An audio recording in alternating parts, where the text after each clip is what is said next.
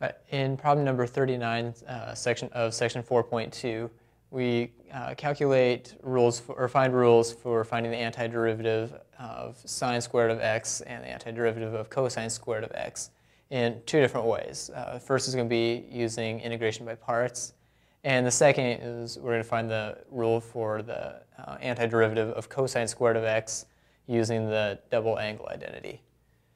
Now, start out by um, using the method or using the method of integration by parts. And we'll start with sine squared of x. Now, let's write this as sine squared of x times, or sine of x times sine of x dx.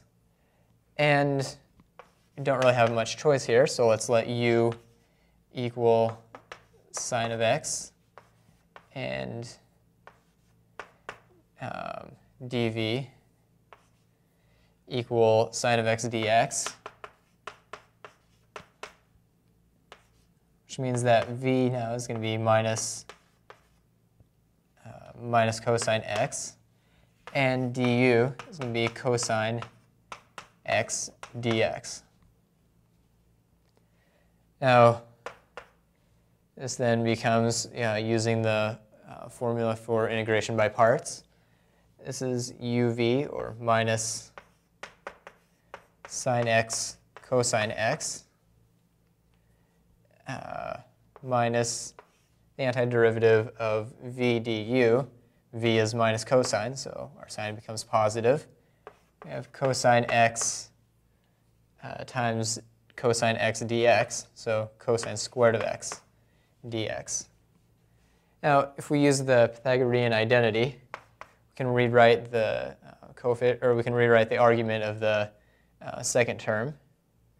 This becomes negative sine x cosine x plus antiderivative of 1 minus sine squared of x dx. Here I'm just using the identity that sine squared of x plus cosine squared of x is equal to 1. And of course just rearranging it a little bit. So antiderivatives are linear, so we can rewrite this as negative sine x cosine x, and antiderivative of 1 is just x. And we'll have minus antiderivative of sine squared of x dx. And since we uh, evaluated the antiderivative there, we better add a constant to the end. Now, it doesn't look like we've really got anywhere because we just did integration by parts and we still have our original integral there. But since the sign is negative, we can move it to the other side and actually just solve for, uh, solve for the antiderivative without computing it explicitly. So if we notice that this here is equal to sine squared of x dx, so let's just add sine squared of x dx to both sides of the equation. That gives us 2 times antiderivative of sine squared of x dx.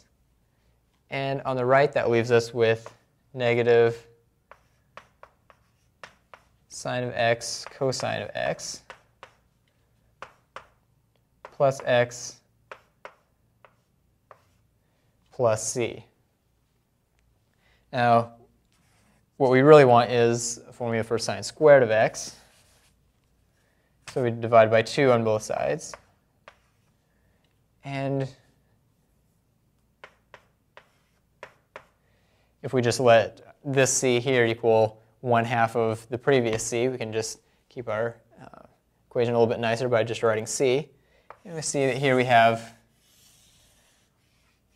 formula for sine squared of x, for the antiderivative of sine squared of x. Now, we could use a similar procedure for finding the antiderivative of cosine squared of x, or we could just use the Pythagorean identity, which says that uh, cosine squared of x uh, plus sine squared of x is equal to 1, or just rearranging this a little bit, cosine squared of x is equal to 1 minus sine squared of x. And now let's just take the antiderivative of both sides. So antiderivative of cosine squared of x, which is dx, which is what we're looking for, is going to be equal to antiderivative of 1 minus sine squared of x. Now this will be equal to x minus the antiderivative of sine squared of x, which we already know is um, negative 1 half sine x cosine x plus 1 half x plus c. Now this is be equal to x plus 1 half sine x cosine x minus 1 half x. But since we have x minus 1 half x, we might as well just write x over 2. And minus c, but we can just relabel our constant and keep it c there. So here we have the formula for the antiderivative of cosine squared of x.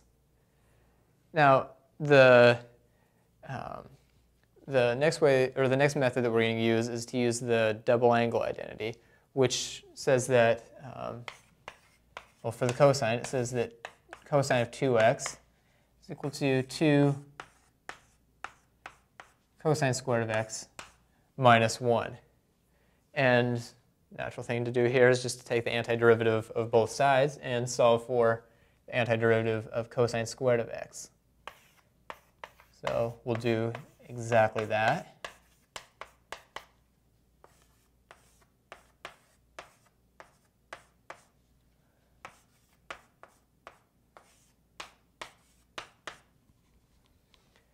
And we're left with uh, here, we'll have 1 half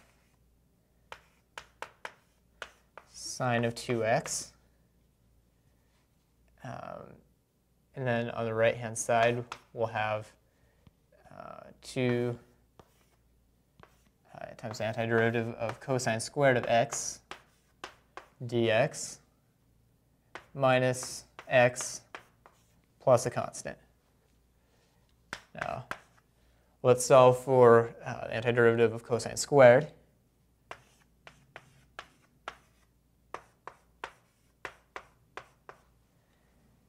And we get x plus 1 half, well, should end up with 1 half times um,